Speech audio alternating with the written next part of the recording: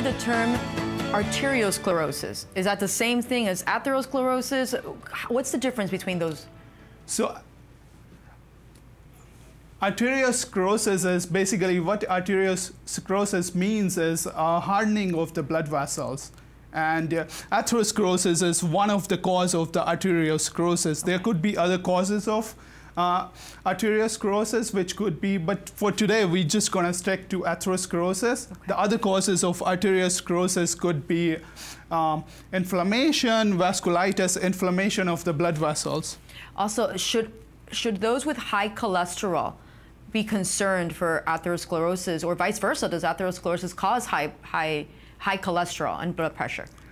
So we know that now, like uh, people who have high cholesterol, mm -hmm. they are at increased risk of atherosclerosis. And why is that?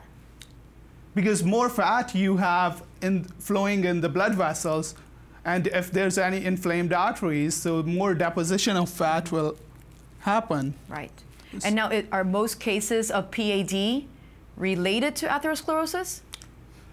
Not all, okay. but majority of cases. So, um, uh, so PAD basically just means uh, occlusion or narrowing the arteries to the legs, and sometimes it can be related to the blood clots as well.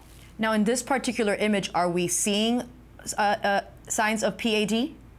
We are. So uh, we are seeing the narrowing of the lumen of the blood vessel. Mm -hmm.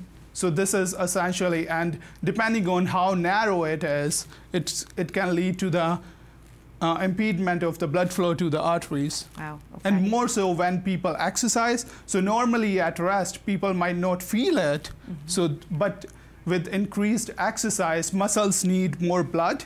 But if there's a narrowing of the blood vessel, so they cannot get enough blood. That's why people feel the pain in their legs when right. they walk.